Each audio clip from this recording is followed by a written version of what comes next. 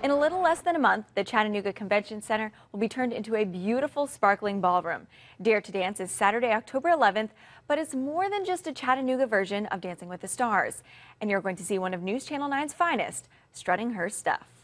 Ah, the coveted mirror ball, an icon in ABC's Dancing with the Stars and Chattanooga's Dare to Dance. Several people from Channel 9 have participated in Dare to Dance. Latricia has done it, Jason's done it, and um, when I mentioned it'd be fun, of course, Latricia passed my name on to Heather with the Kidney Foundation, and the rest is history. Back down from a challenge?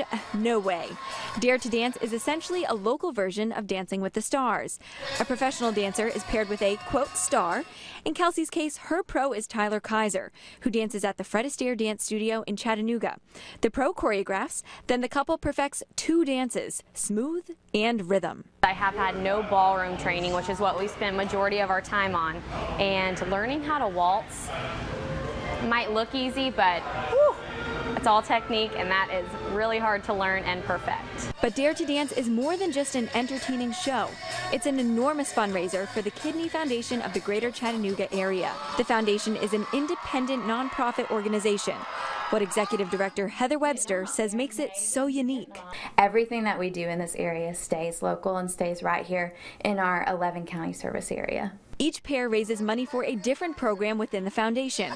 For example, Kelsey's is patient enrichment. A few weeks ago, I went back to school clothes shopping with Jordan, who's 16 years old, going to high school and needed new clothes. So money from my program helped buy him a new fall wardrobe.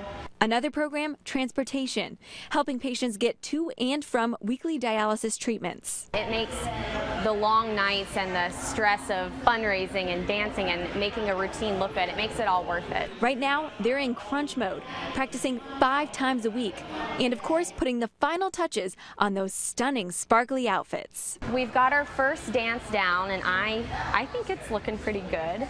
Um, now we're still working on choreography for the second dance, which is our rhythm. Is she gone?